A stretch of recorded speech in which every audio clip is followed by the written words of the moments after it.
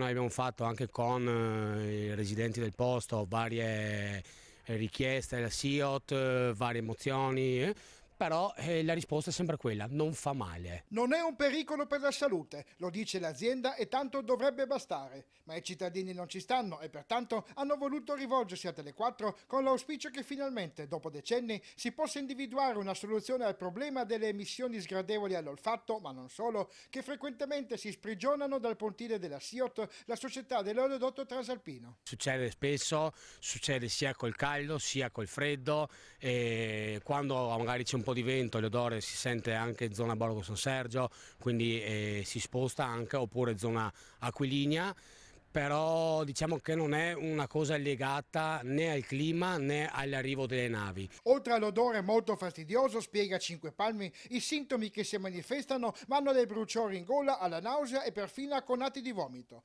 Ma prosegue, ho la prova concreta che l'azienda, se lo volesse, ha la capacità di risolvere il problema. Ogni qualvolta che c'è l'odore, io stesso telefono in SIOT e faccio presente, in giro di qualche minuto l'odore svanisce, quindi vuol dire che anche in SIOT sono al corrente di queste cose qua e sanno cosa fare e cosa non fare. Nel corso degli anni abbiamo fatto un monitoraggio costante delle emissioni compilando anche delle schede, prosegue Cinque Palmi, e abbiamo presentato diverse petizioni al comune di Dorina, ma nulla è accaduto e quindi adesso diciamo basta, vogliamo delle risposte. Il primo problema è sapere cosa noi stiamo respirando, cosa eh, la SIOT dice di fare perché per il momento la situazione mi sembra sempre peggio. Tante parole, tante promesse ma di concreto ancora niente.